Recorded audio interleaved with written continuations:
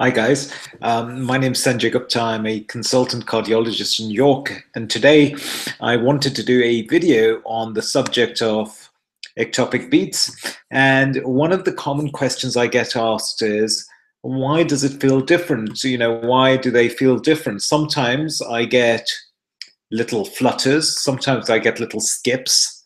Sometimes I get a really missed beat. And then sometimes I get these almighty thuds um, which are really disconcerting. So why? What what's going on? What why the difference? What's happening? Um, and the answer is that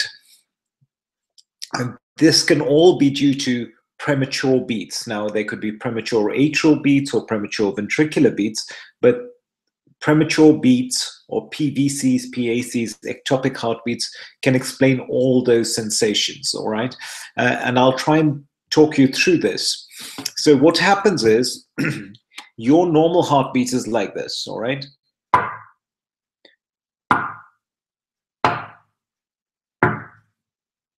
Okay, that's your normal heartbeat. Now, the normal traditional ectopic beat, the, the, the one that most people feel is like this.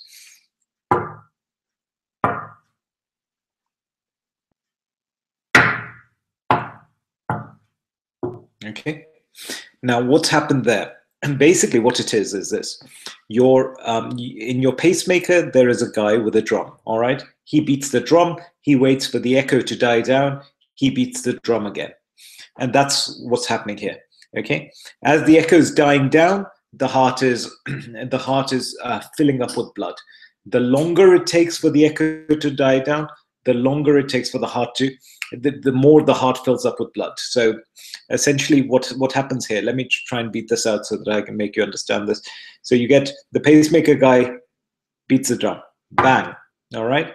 Now, at this point, the heart has contracted and it is beginning to fill up with blood. Okay, after it fills up with blood, the pacemaker guy fires again, and then the heart contracts, blood goes out, and it starts filling up with blood. And then the pacemaker guy fires, fires again and this is what's happening.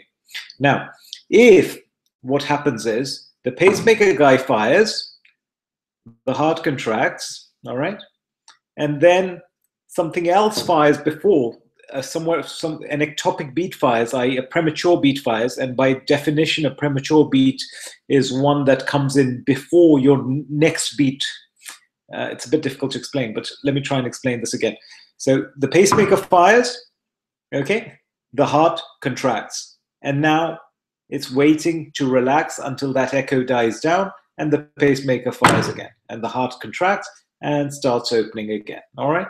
Now, what happens? If you pacemaker guy fires, this contracts. And then before the pacemaker guy can fire again, another beat comes in from somewhere else, an ectopic beat, and fires. What happens?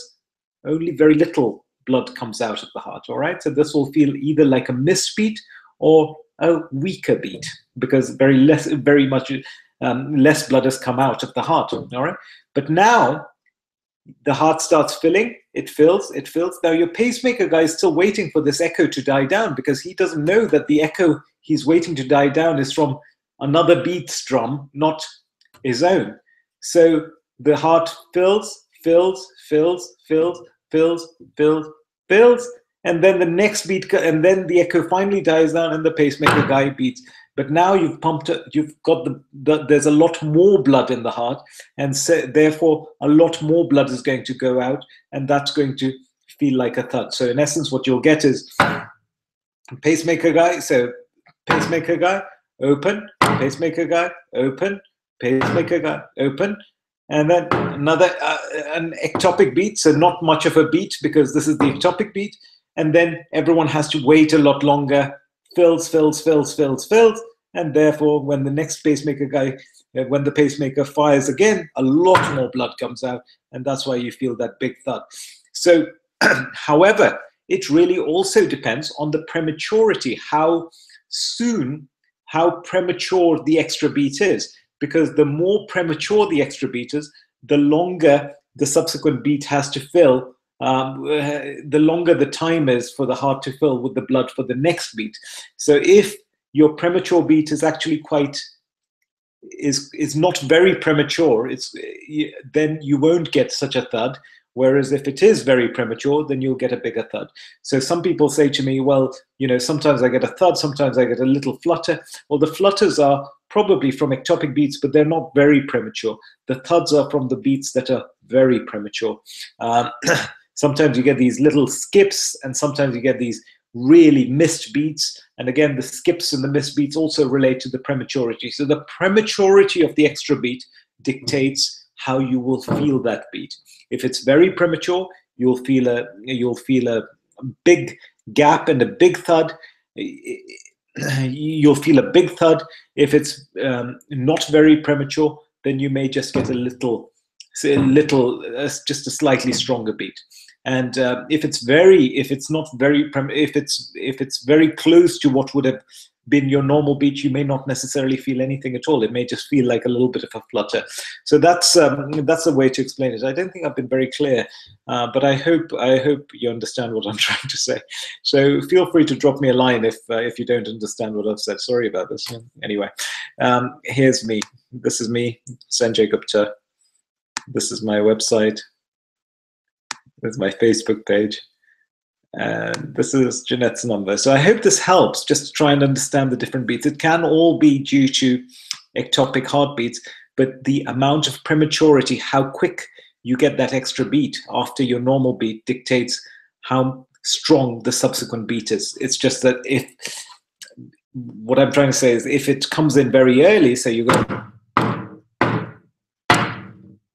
a lot of time for the heart to fill, bang, you know.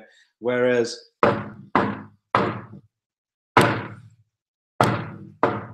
that's still an extra beat because the, that beat came in a little bit earlier. So uh, you you wouldn't necessarily notice it other than just a minor minor minor hardening of the beat. Whereas the big thuds come when the ectopic beats are very premature. All right, thanks. Take care. Bye.